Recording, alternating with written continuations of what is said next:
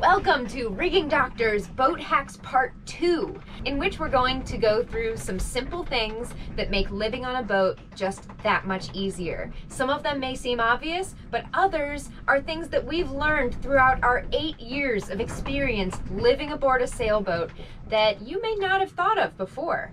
An age-old boat problem has been the storage of alcohol. It's usually in glass bottles, which makes it really breakable on a seaway. And so we're gonna show you how we store our alcohol so that it never breaks. On each of our alcohol bottles, we have one of these.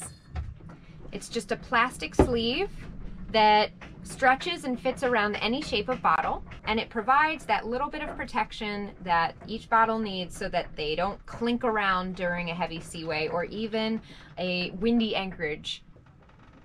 Ta-da! Banging together, no sound. On this boat, we have two types of lighting, candles and magic. But actually we have LEDs and LEDs. so the strip LEDs are great for in the galley because, I mean, look, can't see what you're cooking, now you can.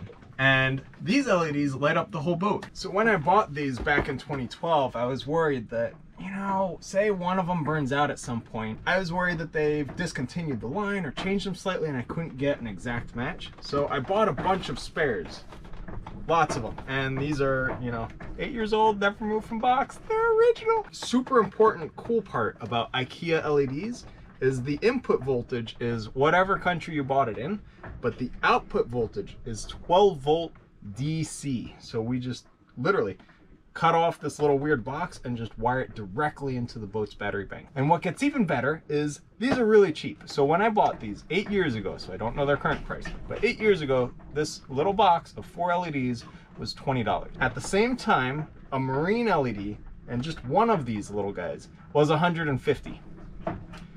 So it's a lot cheaper. so if they die, and you could buy these over and over again before you even hit the price of one marine LED. I'm indecent. If you ever entertain or uh, have anybody over, it's really nice to be able to separate your berth from their area, uh, especially if you're going to be changing at any time. So and rather than put a door in separating the V-berth, we decided to put a curtain for a few reasons. One, it allows for proper airflow. And two, you can decide whether you want it pulled back, or not, and it's a nice pattern. So what we've done is we've added a wooden rod at the top and we've put these very makeshift kind of uh, holders for the rod to hold it up and they're very sturdy. And so whenever we need some privacy or even just to feel like we have a bedroom, uh, it's been a really nice kind of decorative thing. We've held it up with putty, so it's all removable. It doesn't mark up the boat if we ever want to change it. And speaking of putty, if you want to hang art in your boat, and then the boat leans, the pictures are all going to be crooked. It's never going to work well, so just give up on it. Or stick some poster putty on them. So you just put poster putty in the corners, and then you hang it, and it'll just hold tight. So then your pretty picture doesn't go anywhere.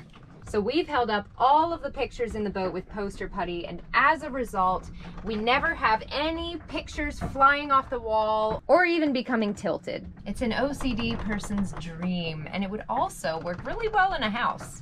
One thing that we found living on the boat that has been indispensable is the mason jar. We use them for so many things. And the great thing is they're super durable and they store really well. We use them to store all sorts of baking supplies like sugar and flour, but we also use them to store rice, pasta, oil, various oils like linseed oil for oiling the wood in the boat. But they can also be used for candles and storage of seashells.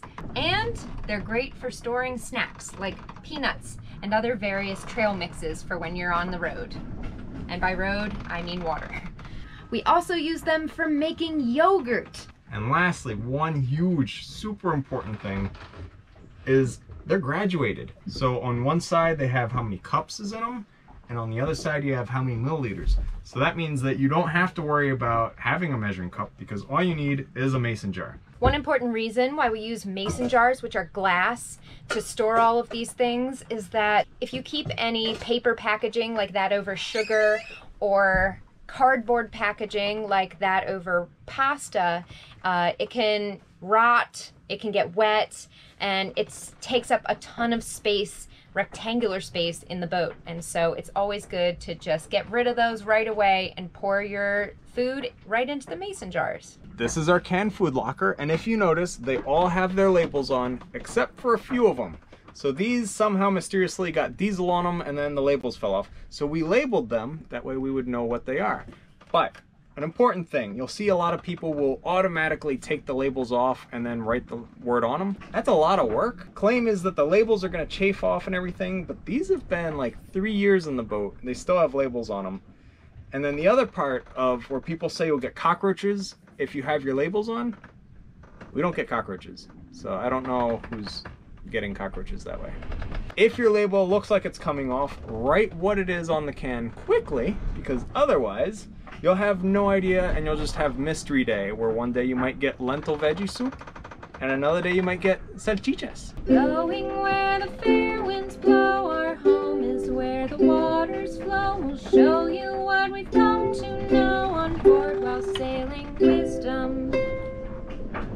A lot of people love that image of a nice cozy evening playing music and singing on in the cockpit and that's great except for the fact that instruments take up so much space in a boat and so if you want the ideal boat instrument it's a ukulele it's tiny, you can sing with it, it's like a mini guitar, but the important thing about your ukulele is it should be plastic.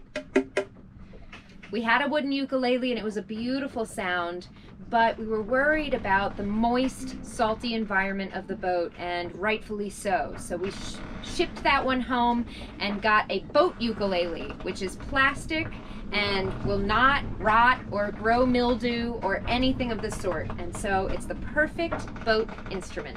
The next little boat hack is a simple way to know how much chain you've let out when you're anchoring. And all you have to do is paint the chain. So you just paint it different colors at different segments and then you know when the color runs out. That's how much chain you have out. So for us we do black for 20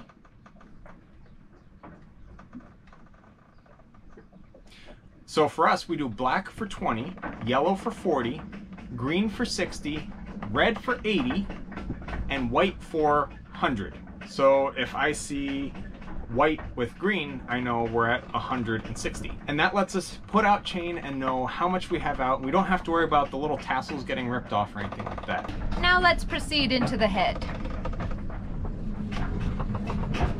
It's very windy and noisy, so pardon that.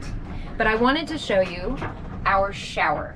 And this is not the shower that is connected to the boat, this is our cruising shower. Here we have an insecticide sprayer that we've converted into our cruising shower by simply adding a little hose and a nozzle for a sink.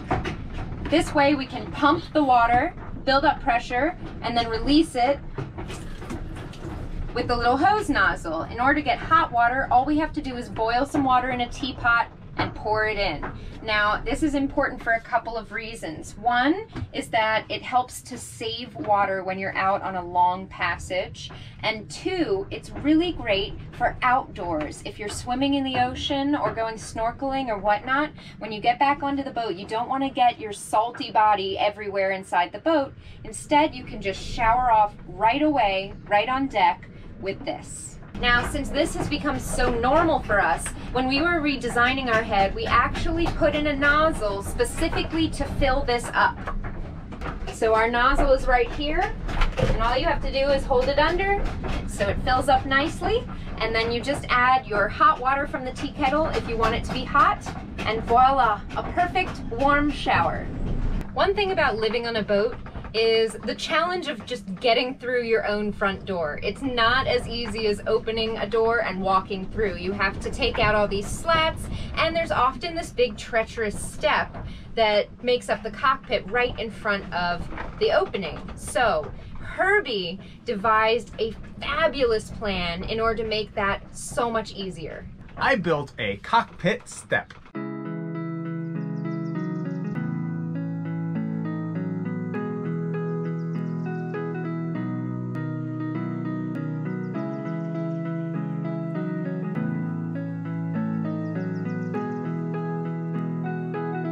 So this is our cockpit step and all it is is a really big piece of mahogany on two mahogany boards and it's just glued and screwed together and that's it. So this nice little uh, bevel here that slides under the cushion so that way if you're sitting on the cushion by it you don't have this like lump in your butt and you have a nice sturdy very strong step. Our next trick is a combination of a fender board and your fenders and it's indestructible. So they are rope fenders. They're huge, they're really heavy, and they can't pop because they're made out of 500 feet of rope, just all knotted together. So with that, we can tie it up anywhere we need. If we are up against a really rough seawall, we can double them up, and they're just super strong. And the best part is you can make them out of your old running rigging that you're gonna throw out. Now you have another use for it, and it'll save your boat.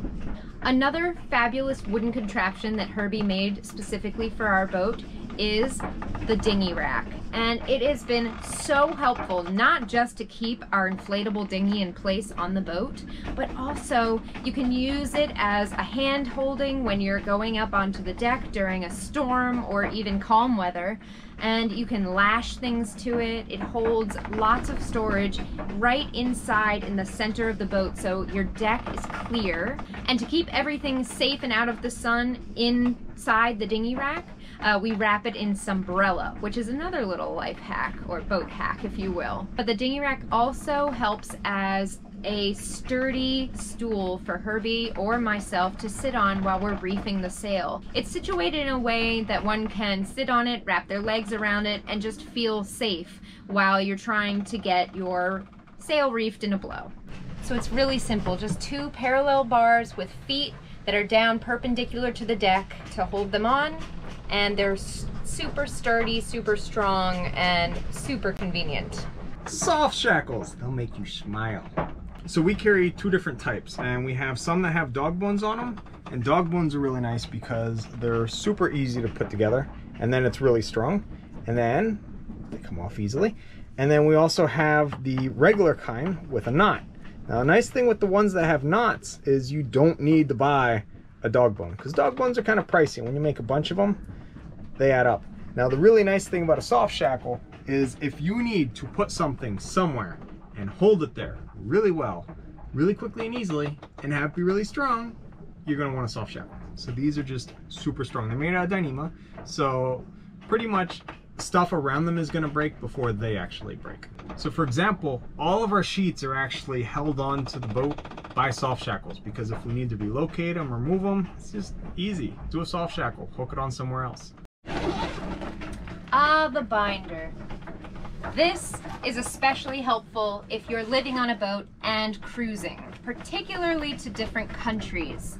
In this binder, we have everything we could possibly need all organized in one place. We have our passports, we have our SIM cards for various countries, we have our letters saying that we've gotten visas, and so on.